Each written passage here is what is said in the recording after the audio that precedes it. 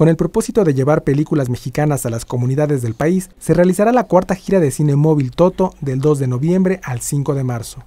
En conferencia de prensa, Roberto Serrano, cofundador de Cine Móvil Toto, detalló el objetivo de este proyecto.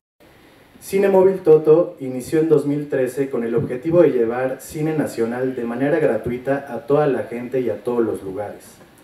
Y sobre todo, de probar que es posible hacer funciones de cine con energía renovable, por medio de un sistema de bicigeneradores y complementados por un sistema de celdas solares.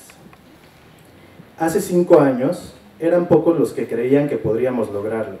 Sin embargo, al día de hoy hemos recorrido 50.000 kilómetros a lo largo de toda la República Mexicana, proyectando más de 250 funciones, lo que nos ha regalado más de 50.000 sonrisas de todas las personas que se han visto beneficiadas.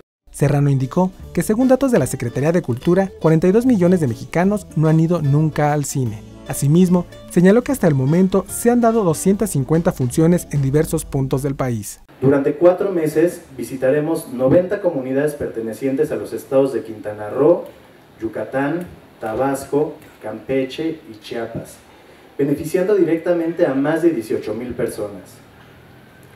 Para esta cuarta edición contamos con el apoyo del Grupo Aeropuertario del Sureste, Fundación Elvex y del INCINE con lo cual será posible proyectar 29 largometrajes mexicanos, entre los que se encuentran títulos como La leyenda del charro negro, Sunú, Güeros, Alamar, La delgada línea amarilla, Distancias cortas, entre otras.